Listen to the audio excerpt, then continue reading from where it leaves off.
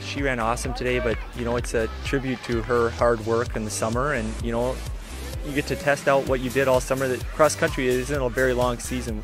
We have two months till our conference meet, so this isn't just a little race. You know, this is a good test of what you've been up to. And uh, Erin clearly showed she's class of the field today, and um, just great to have somebody like that on the team. I think it'll start to carry other people's performances and hopefully uh, inspire the rest of them.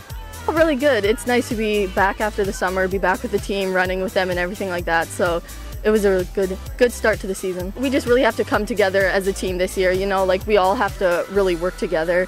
And when it comes to that race, we kind of all just have to be. Every single one of our runners has to kind of be in the best shape they can, and just run their best race that day. So we have the whole season to work up to it. So just take it one race at a time.